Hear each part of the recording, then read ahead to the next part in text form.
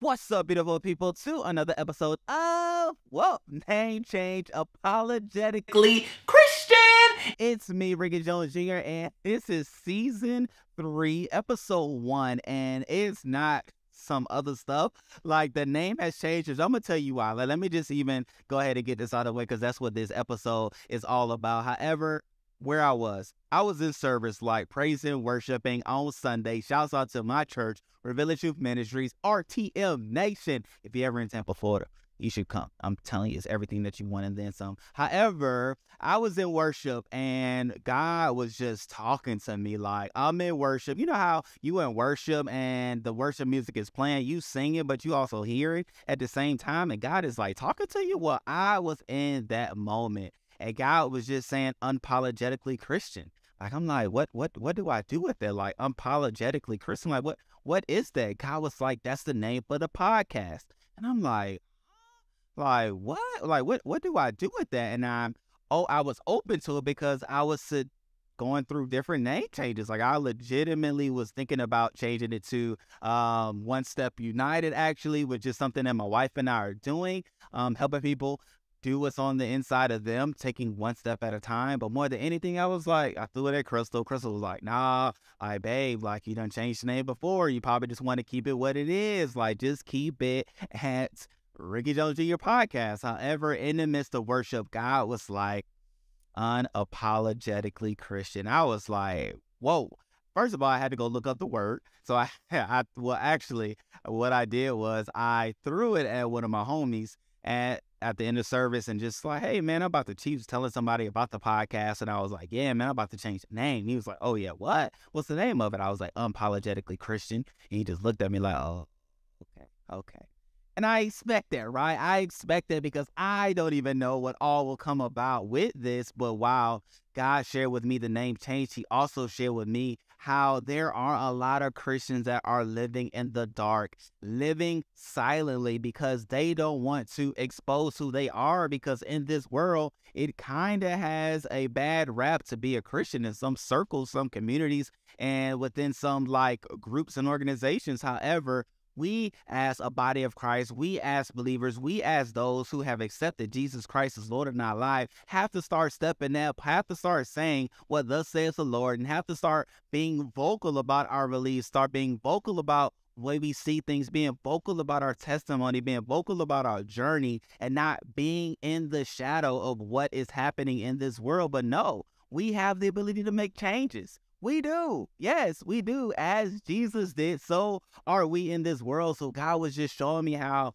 people will be set free. People will get the confidence and motivation back within themselves to know that, nah, like it's cool to be a Christian. I'm okay to be a Christian. Like I don't have to hide who I am, suppress who I am, shadow my beliefs, or live in somebody else's shadow because what I believe may not be a popular opinion. Like, no, you believe what you believe because of who you believe. You do what you do because who you believe. You are the way you are because of the example that was set before you by our Lord and Savior Jesus Christ. Like, don't hold back. Don't hide behind the curtains. Don't hide behind the doors. Don't hide in the closet. Whatever you hiding, come out. And I'm saying that not only to you, but I'm saying it to myself because I have been in rooms, I have been in places where I knew and I know I should have stepped out boldly about who I am, what I believe, and why I do what I do the way I do.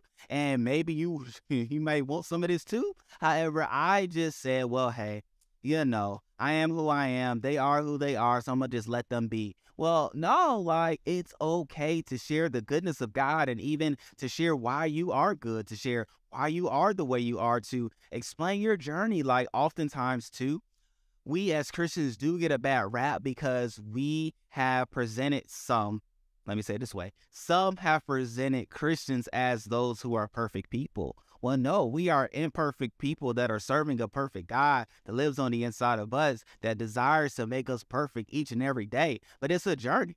And it's not anything that you will accomplish on this earth, in this world. Let me just go ahead and say that right now.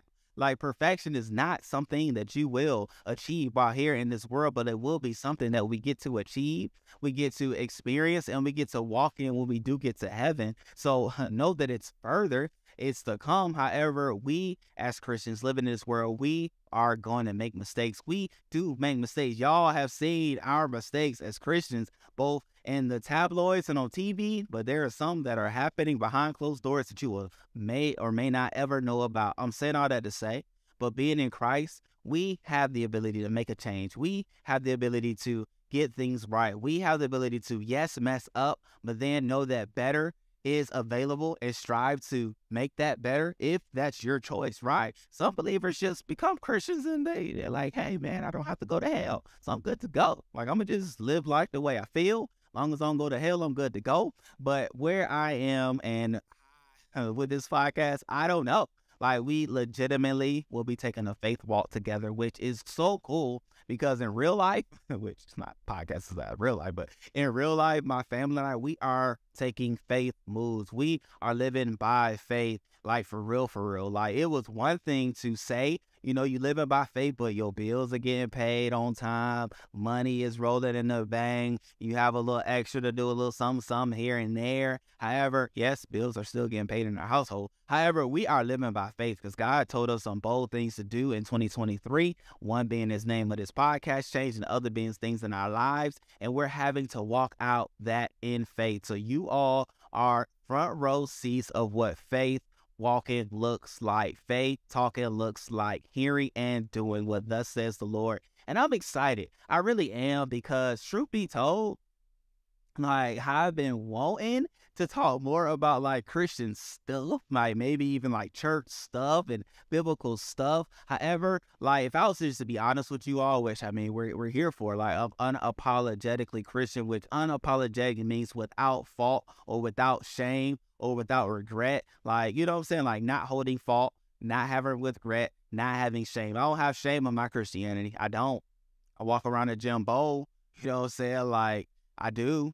And uh, I don't have any regrets. I know it was one of the greatest decisions that I have made because it has led to the furthering decisions in life from marrying my wife, from going to different schools, from moving to where I'm moving, to going to where I'm going. It's all because of who I am in Christ and my Christian journey and Christian walk. So I have no regrets in accepting Jesus in my life. And those who have accepted Jesus as well, I'm sure you have testimony upon testimony, words upon word, experiences upon experiences, times upon time that you can say, Thank God I'm a believer. Thank God I follow Christ. Thank God Christ is in me. Christ is for me. Christ is with me. Christ has came before me, and therefore all is well. But I was saying, before I, you know, we here. You know what I'm saying? This is like the, the beginning of something special. So we here. I'm just flowing with what thus says the Lord. Usually I write like little notes about what I want to talk about and things I want to say, but y'all, y'all just get in it as it comes. However, what I was saying was prior to this moment, I before wanted to talk about more Jesus, wanted to talk about more Christ. However, I had the idea that if I spoke that talk, talk that talk, spoke those words, I, I just I wouldn't get placed. Right. I, I felt like, you know, hey, the Christian space is is wrapped up on Sunday. Like people don't want to hear about this type stuff on podcasts. But I started like not that, you know I'm saying, like I'm not taking no credit for nothing. However, I started paying attention to other podcasts, and I'm like, man, like it's a lot of stuff being put out there. But what what's up with the Christian boys? Like, who are here for the Christian people so that the Christian people can have something to talk about, something to listen to, somewhere to grow from. You know what I'm saying? Like I do see people like shouts out to Myron Golden. He is not a podcaster, but he does have a YouTube channel, business owner and all that good stuff, doing great work. Um, shouts out to the basement light. That is a phenomenal podcast. Truth be told, it has given me the now boldness and the confidence to say it can work. It will work. Why? Because God said it and I can be bold and have the authority with thus says the Lord and let God just order my steps, let God light my path, let God do what God wants to do with this space because it all is for God at the end of the day. I I, I named it Rickey Jones Jr. Podcast just because I didn't have any other name and I know I just want to be free to talk about whatever I want to talk about, but let me not make you all think I said it that way because I wanted to build something for myself. Like, no, what I build is for God. What I build is because of God. And now I'm walking in it unapologetically. And I just see it on shirts. I see it on billboards. I see it on stickers. I see people just walk on mugs. I see people just walking around unapologetically Christian. Like, it should be no question. I am the way I am because I am a Christian. I do what I do because I am a Christian. I don't go certain places or I don't do certain things because I am a Christian. Like, and I'm not saying there are a list of things that you should not do, don't go places you don't go, things like that. No, no, no, no, no. But you know for yourself why you do what you do, why you don't do what you do, and it's because of your Christianity. It's because of your relationship with God. Like that's where I'm at. So if you wonder what I believe, right? I believe in a relationship with God. I do not believe in religion. I do not believe that there is freedom. I don't believe that there's Christ in religion, right? Because whom the Son sets free is free indeed. Therefore, there is no condemnation for those that are in Christ Jesus. Therefore, I say that to say, I believe that religion, as I've experienced it, has had a way of holding one back holding people in bondage, telling them what to do, what not to do broadly without allowing people to have a relationship with God personally, which I believe that Christ died for all and Holy Spirit is on the inside of all who believe. Therefore, with Holy Spirit on the inside of you, you have that comforter. John 14, 26, you have that comforter. You have that one that goes before you. You have the mediator. You have the one that is hearing from God, sharing what thus says the Lord to those that are listening. So in that, we have a relationship with God. Therefore, we can walk around boldly and do what we do, knowing who's with us, knowing who's in us, knowing who's for us. You know what I'm saying? Like, you know what I'm saying? It's it's good and golden. So I believe in having a relationship with God. I don't believe in making blanket statements on what you can do, what you cannot do, because I cannot say who you are or what God has for you or where you even came from. Because a lot of people don't come to Christ because of their past. And people have these blanket statements of what you cannot do and what you can do. And therefore you eliminate some. But God came for all, that all might be saved. And when we in Christ, the rest takes care of itself. You know what I'm saying? Like you wouldn't take a shower, you wouldn't go take a wash up before getting a shower and say, I'm trying to get clean. Like, no, you get in the shower to get clean. Therefore, I say that to say, don't try to clean up who you are, get everything right before coming to Christ, because being in Christ is going to make you a new creature. All things will pass away, because all things shall become new. All things will become new. And that's so, so good, right? But, you know, I can go on and on and on and on. However, I'm saying all this to say, unapologetically Christian is a thing. It's a thing that'll reach the world. It's a thing that'll reach people. It's a thing that's going to benefit those. It's going to benefit me. It's going to benefit the conversations that we have, the people that we come in contact with. It's going to be awesome. Tim Ross, thank you, sir. Thank you. I shouted out the basement, but I want to specifically say your name. Now you're you're still a pastor, I believe. Pastor Tim Ross. Tim Ross, thank you, sir. Thank you for going before me and allowing for you uh, to do what you did and to walk out boldly in who God has called you to be. And it has reignited the voice that I have, right? Um, to not only be a believer, but to be one that ministers the gospel and shares it with others, shining light and love with those that I come in contact with. Like, that is my purpose. That is my joy. That brings me joy. And so I believe that this podcast is going to do great, great things just as you have, sir. And so, again, thank you. Salute you.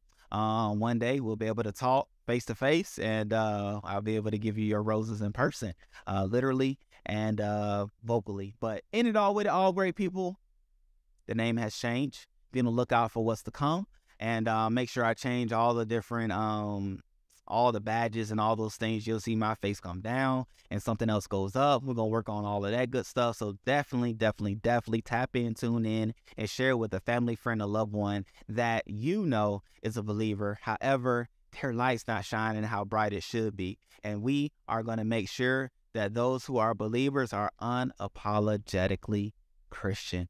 All right, great people. I love y'all. Y'all really, really, really, really, I really, really do. I'm excited about all that's to come. Till then,